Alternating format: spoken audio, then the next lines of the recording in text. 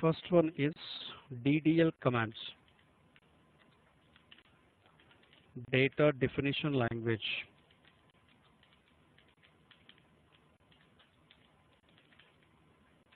What is the use of DDL commands is used to create or change or delete the database objects.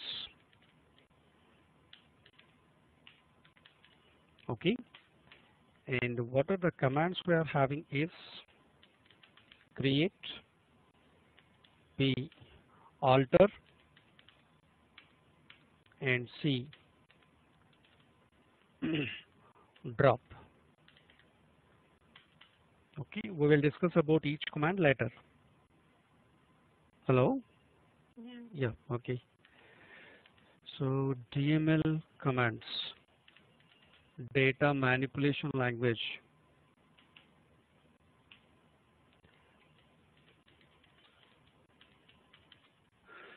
Language commands. What are the command? What is the use? Use to enter new data or update old data or delete unwanted data. Okay, what are the list of commands you are having is first one insert and second one update and third one delete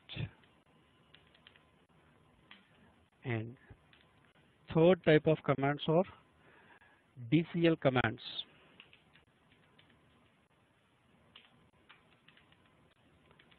Data control language.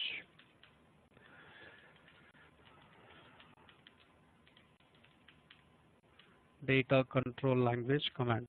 What is the use of data control language is used to provide or cancel permissions on the database objects.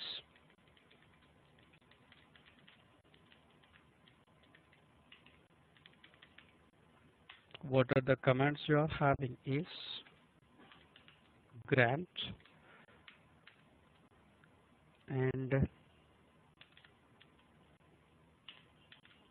B is revoke.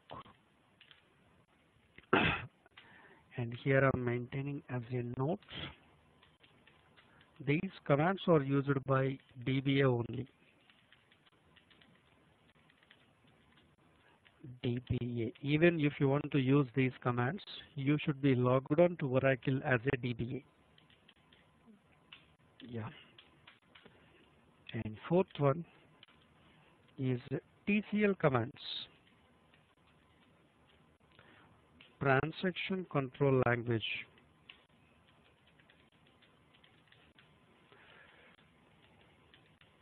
Language commands what is the use? Use it to save or cancel. User transactions. The commands are commit and rollback and save point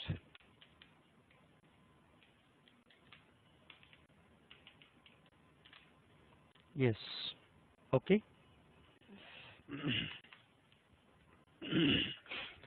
Apart from the different types of commands you are having a special command is there. So what is that command is select. Use it to display required data from the requested tables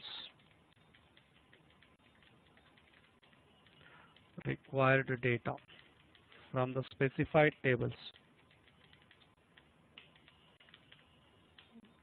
Okay yeah this is the theoretical part. And as a fresh guy we don't know how to create the table. First I want to create some table to maintain. I have the employees are there. I want to store those employee information in the form of table. How it is, yeah. Create a table. what is the first DDL command we are having? Yes. DDL command we are using is create. What is the use of create? Use it to create any database object, not only table, any database object like uh, table, view, index,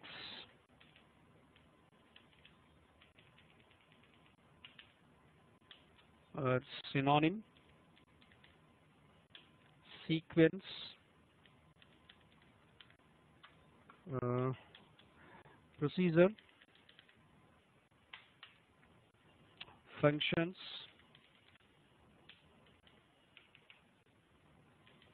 locks or triggers. All these things are known as database objects. If you want to create any one of these objects, use create command only. Okay. So in our syllabus, each and every one we will discuss all objects. Okay. Now how to create a table? Syntax.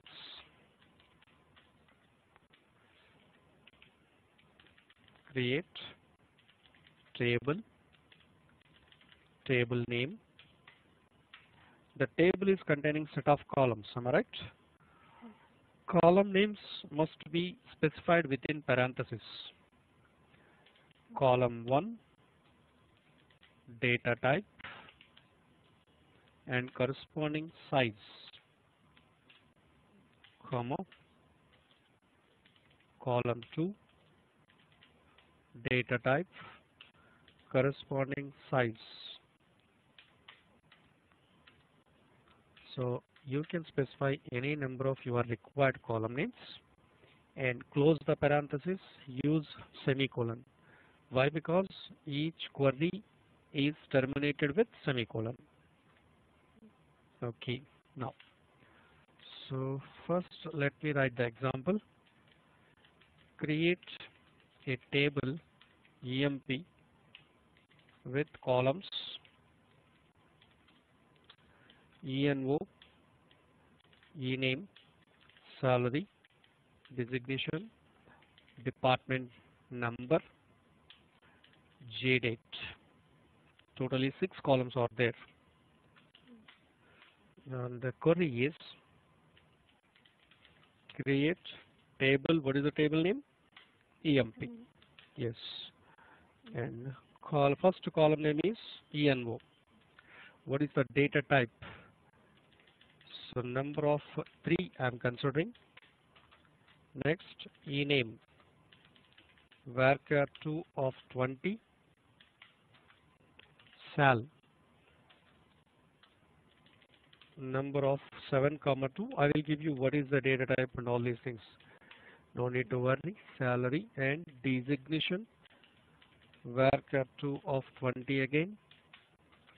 And department number it's a number of 3 and J date is date type of data completed.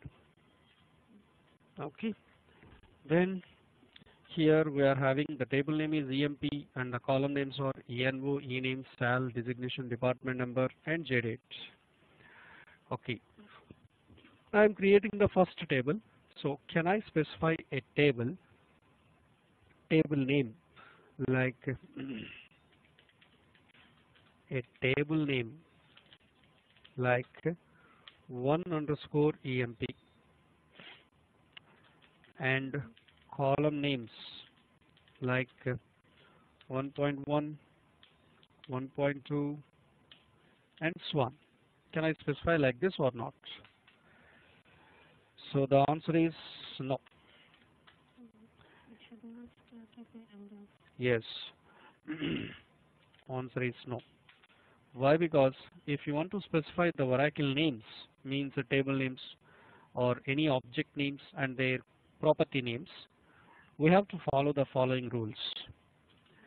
So that is naming conventions.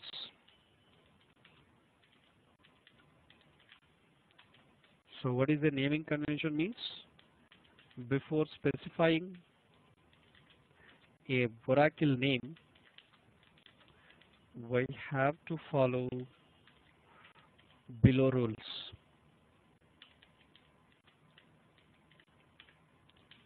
What are they? First one,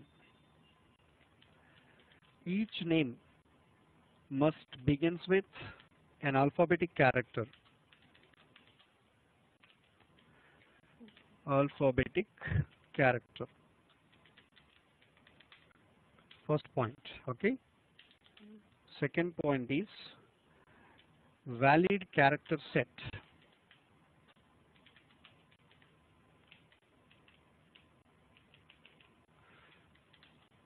Set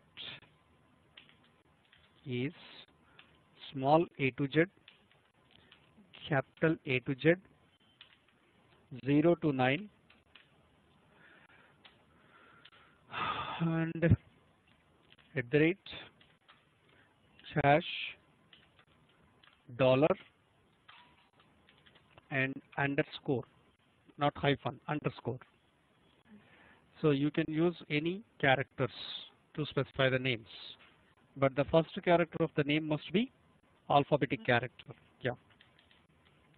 Third one is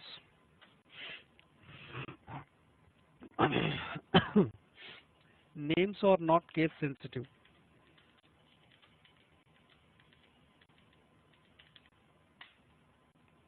And fourth one is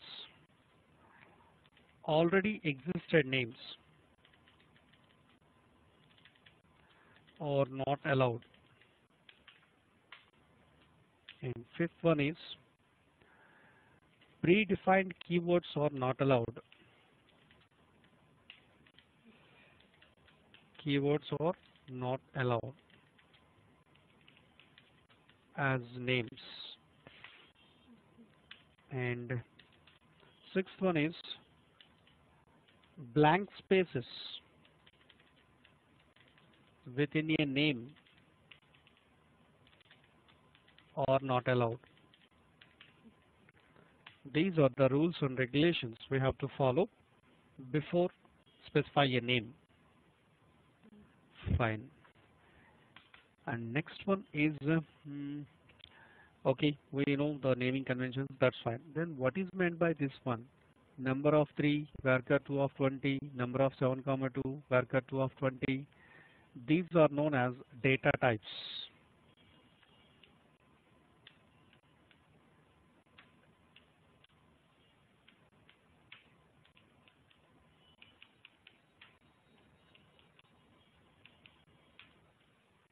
Just a moment.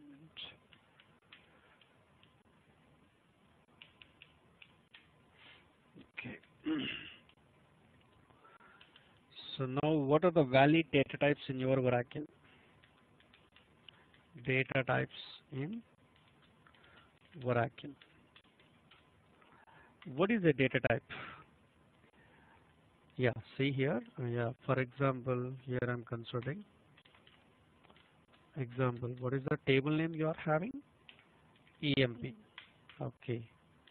ENO ename sal uh, designation department number J date join date. So here you are having one. Name is A. Oh.